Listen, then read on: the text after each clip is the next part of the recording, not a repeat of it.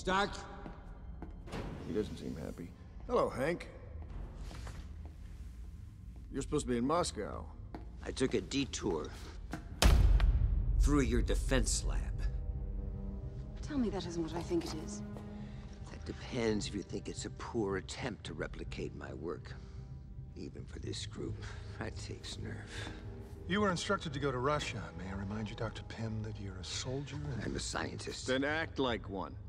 The Pym particle is the most revolutionary science ever developed. Help us put it to good use. That you turn me into your errand boy, and now you try to steal my research? If only you'd protected Janet with such ferocity, Dr. Pym. Uh... Easy, Hank. You mention my wife again, and I'll show you ferocity. Don't look at me, you said it. I formally tender my resignation. We don't accept it. Formally. Hank, we need you. The Pym particle is a miracle, please.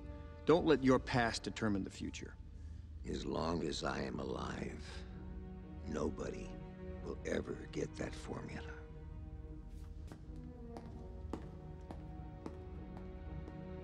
You shouldn't let him leave the building. You've already lied to him. Now you want to go to war with him. Yes. Our scientists haven't come close to replicating his work. You just kicked your ass full size. You really want to find out what it's like when you can't see him coming? I've known Hank Pym for a long time. He's no security risk. Unless we make him one.